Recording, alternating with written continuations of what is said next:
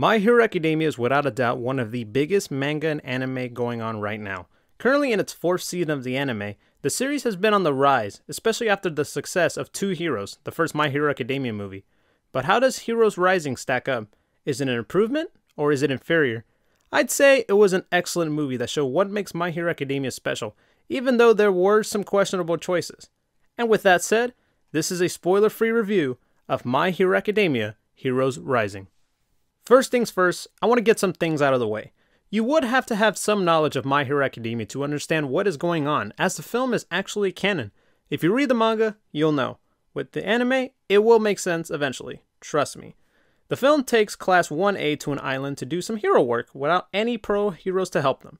All seems easy in the island until a villain named Nine and his crew take over the island to search for two children, Katsuma and Mahoro, now it's up to Deku, Bakugo, and the rest of Class 1A to save the children and protect everyone in the island. While the main focus is on Deku and Bakugo's relationship and their motives of being a hero, every 1A student had a chance to shine in this movie.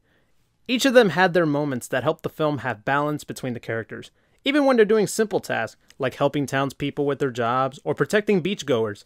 It's really charming because of the students' laid back and fun personalities. The animation done by Studio Bones is incredible in almost every aspect, from the fight scenes to even the backgrounds. It has a mixture of color and brightness. Even the final battle, I felt it was the most colorful fight I've seen in animation, and is such a trip and is such a thrill ride. However, I do want to point out some parts that seem a little bit low, a little weak.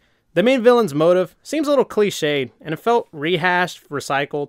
Even Katsuma and Mahoro's characters arc, they felt recycled to me.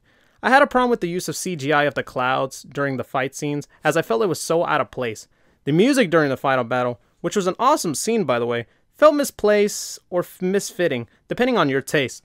Speaking of the final battle, man, that was such a trip. It had loads of color and beautiful animation that felt like other past fights in the My Hero Academia anime, and even other anime like Dragon Ball Super.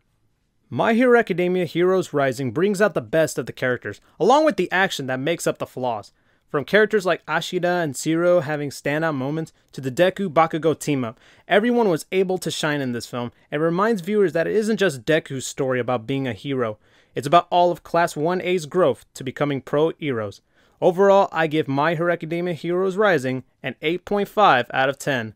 Thanks for listening. Like, comment, subscribe, share, and spread the word. Thanks for listening and take care. Go beyond plus ultra.